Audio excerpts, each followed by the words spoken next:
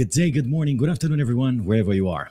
In the past couple of years, we saw an explosion in the artificial intelligence sector, but following the changes in the advertising policies worldwide, a wide range of businesses were impacted. And with the explosion in the blockchain and cryptocurrency sector, more and more firms are now developing artificial intelligence. However, these AIs have their pitfalls as well. What are the shortfalls of uh, the artificial intelligence is the topic uh, of the day, and I've invited one of the best AI specialists to join us for a very interesting chat. Artificial intelligence shortfalls in the digital age. Coming up.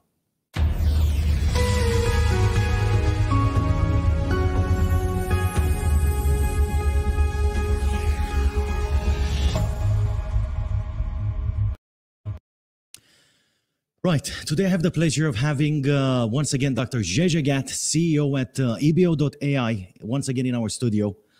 Let's uh, let's welcome him. Hi, Gege. Hi, Andrew. It's great to be back. Thank you for having me today. Great to uh, to have you here, and thank you for accepting the challenge. Now, I want to start by asking you: How dependent are we on uh, artificial intelligence, Gege? Well, look, Andrew, artificial intelligence is not a type of technology which is visible like machinery is. You know, there's no label on a tool saying AI inside. So we often consume and become dependent on artificial intelligence without even knowing it, right?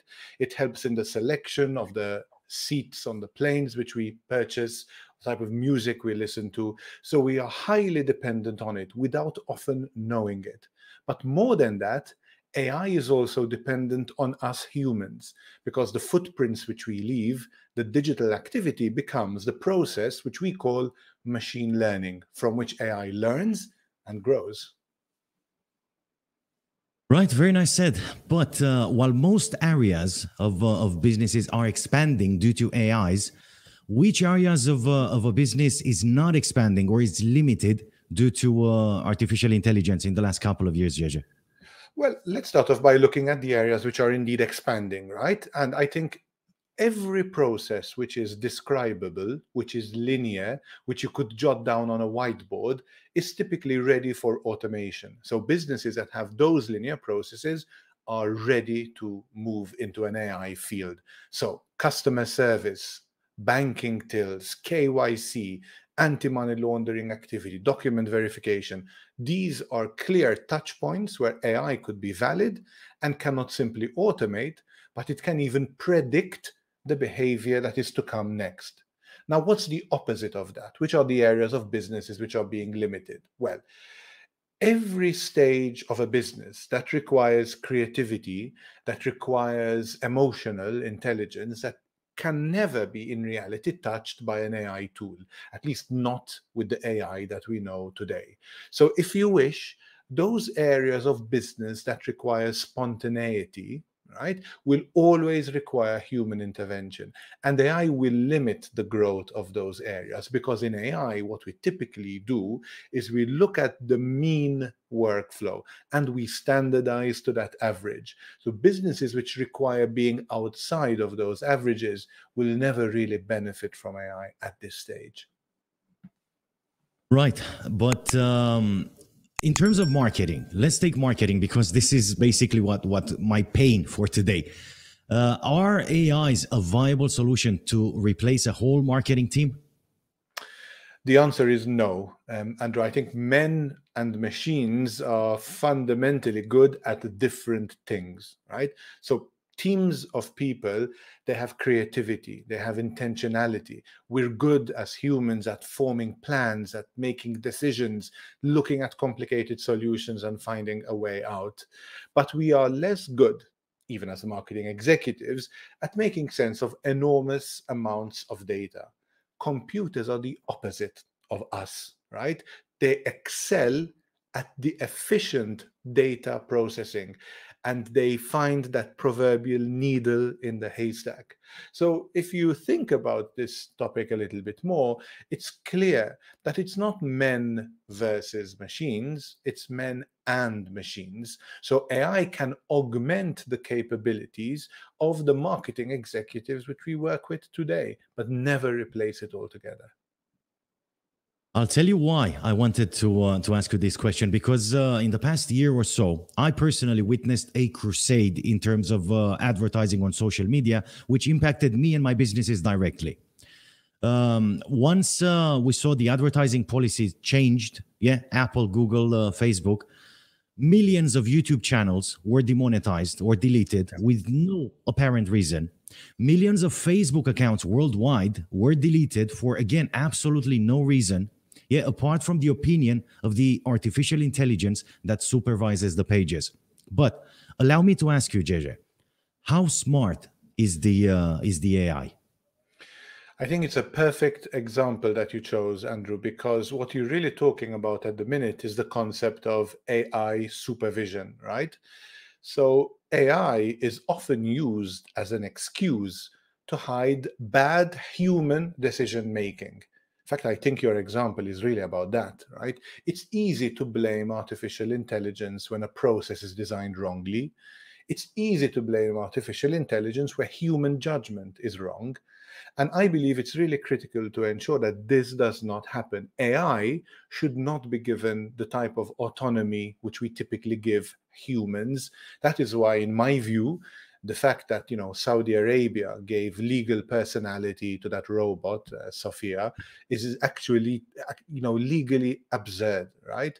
So stakeholders, you know, YouTube uh, and so on and so forth, cannot evade the responsibility for legal prejudices or faults, ethical faults, like the ones you described, simply by arguing that it is their creation, AI, that uh, created the fault and so they are almost you know separate from that fault. That's wrong right? So i think what we need to talk about here in your example and is accountability. So accountability means that humans should always be held accountable for the results that their AI systems implement. Otherwise, if you break that degree of accountability between the system and the human, then we are going to have a significant problem like the one which you just explained. But your question ended with a really pointed remark, which is after all, how smart is artificial intelligence? Well, Correct. if you define smart as intelligence, then yes, you know, I think if we understand intelligence to mean pure computation, you know, algorithmic calculation, then yes, I think AI is extremely smart, it's extremely intelligent, and it is more smart than your average human. It's actually more smart than your best human. But if you define intelligence as consciousness, as creativity, as you know, thinking about thought, then no, I don't think that you can define artificial intelligence as being smart or as being intelligent. So it really depends on the viewpoint with which you define smart. And it really depends on what you're trying to achieve from the AI system. Right. Very, very nicely said. Um, now, I'm not going to go deeper into it because we're going to need hours and hours to uh, to have this chat. But there's another issue: blockchain and cryptocurrencies. There's a huge hype around these uh, these sectors. There's a huge fear of missing out, and uh, we also noticed a huge spike in uh, hacker attacks in the cryptocurrency and blockchain uh, space. How come the AI did not manage to clock on uh, on these uh, hacker attacks, JJ? Yeah, if well, AI, not only that, sometimes AI is actually used to create the cybersecurity challenge. So some of the viruses which are being developed today are not human development, but they are AI mediated uh, viruses, which typically create uh, patterns of obscurity which are hard to detect. So let's go to your question. Why is AI unable to solve every cybersecurity challenge that the world is faced with? Well, the truth is AI has indeed helped us hugely in the war against cyber threats. So much so that if it were not for AI, 90% of the viruses out there would probably be um, undetected. However, because computer viruses or other forms of cybersecurity attacks mutate very quickly, that means that their pattern changes very rapidly. It takes some time until an AI tool actually recognizes that pattern, that footprint, that DNA, and labels it as such. you see, Andrew, one of the key capabilities of artificial intelligence is recognizing anomalies out of patterns, but it takes some data to get that type of you know positive sense that this is an anomaly this is a virus which needs to be stopped. And very often at the very early stages of a cybersecurity threat that type of anomaly would not be classified as such. So it takes some while some days and unfortunately some vulnerabilities until ai is then able to create a proper brake a proper pause on the damage which we're seeing that gave a big big boom to the to the cryptocurrency uh, space and the blockchain uh, technology recently. Now if the ai is so intelligent why can't it differentiate between a legit business and a scam? And again now i'm going to mention my own example. Instructfx the other brand that i'm uh, that i'm running yeah was often uh, compared with a with a forex firm and it was taken down from social media Scams, however, are still thriving on social media, and I'm uh, I'm showing them every day live in my daily broadcasts. Yeah. Legit businesses suffer while scams are still uh, thriving. What uh, do we do if the artificial intelligence is wrong? Like in my case, for example. Yeah. Well, let's start off with two answers. I think the first part of the answer is technical. So usually a scam business cannot be differentiated from a legitimate business because the AI being used hasn't been sufficiently trained. Or if it has been sufficiently trained, then the information which was used during the training process itself has an error, has a bias. So that means a, tra a training model failure. Now, the wider and second answer, in my view, is that which relates to ethics and governance. So I think artificial intelligence needs to be explainable. So, in the case of your company, if you are incorrectly labeled, then AI needs to be able to explain how it mm-hmm. reached that particular judgment. Now, when we say that AI has to be explainable, it also means that it needs to be understandable, that its mm-hmm. decision making, right, needs to be repeatable. And we can expect that repetition to continue over time. When you're given the reply, well, it was AI's decision, I'm sorry, Andrew, you've got to lump it. That, in my view, is entirely incorrect. AI has to be understandable, it needs to be explainable, and you need to be given the opportunity to redress any decision. Yeah, but we're not. This is the thing. Now, for example, um, I can tell from a mile away, and anyone can tell from a mile away that we're witnessing a scam advert on social media the AI doesn't seem to be trained enough to uh, differentiate scams from legit businesses once again. We can tell how much the AI has the, the power over humans yeah to take such decisions because they are they might impact million dollar businesses. Yeah. This is a very key question and i think it comes down to this andrew. Are we prepared to trust machines right are we prepared to trust the companies behind our AI machines? Now, my view is that society is still not entirely ready to do that, but we can get to that stage if we build artificial intelligence tools which are based on three fundamental principles that we can all accept. The first one is that the AI we build needs to be lawful. At minimum, it needs to respect applicable laws and regulations, right? Secondly, it needs to be ethical. So if in Cyprus, in Greece, in Europe, we have a set a certain set of ethical standards, you need to make sure that the artificial intelligence tool is complying with those societal and ethical and cultural standards, not oppose it. Thirdly, we need to make sure that our artificial intelligence is robust. So, from a technical perspective and from a social environment perspective, the technology can stack up. Unless we build AI based on these three values, Andrew, society will never trust the machine. So we will never trust that the decision making process is clear, is clean, and is applicable to us. That is why the issue here is not a technology issue, so how algorithms work or don't work, but it is a societal, an acceptance, a trust issue that we are really discussing. So, how do we fix this problem, JJ? Okay. Is there yeah, well, um, I think there are a number of fixes. Yes, Andrew. I think let me start off with the um, example that you gave me with your own company, where you felt upset that there was a miscategorization. So many other uh, YouTube channels face the same um, issues. So the first way of fixing this is ensuring that we have a redress by design principle. So, as you know, in most European states, we've implemented the GDPR, which actually has a privacy by design to manage personal data. What redress by design means that any tool which we build needs to have a mechanism for you to be able to appeal the AI decision even if the AI decision is right in 99% of the time, and usually it is, Andrew, and usually that is a much higher percentage than human judgment is correct.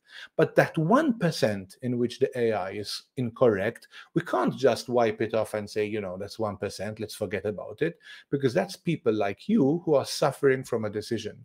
So the first way to fix this situation is to have a redress mechanism. So when there are wrong AI AI decisions, there is an easy, effective, accessible way for an average person in the public to seek redress, to seek appeal, to seek rectification from the AI tool. I think the second part of fixing this problem, Andrew, is that we should feel an obligation. And I think this is exactly what you are doing on this channel today to actually take time to explain the key concepts behind artificial intelligence. What is trust? What is machine learning? What is ethics? What is fairness? We need to give space to this discussion because otherwise, all that will happen is AI hype, AI marketing. And that is terrible because that type of speak covers the tough questions and it shifts the discussion away from what we need to be focusing on, which is AI literacy, which is trust. This is exactly what happened in the in the crypto space and the blockchain uh, space recently. Hype, fear of missing out, not enough knowledge.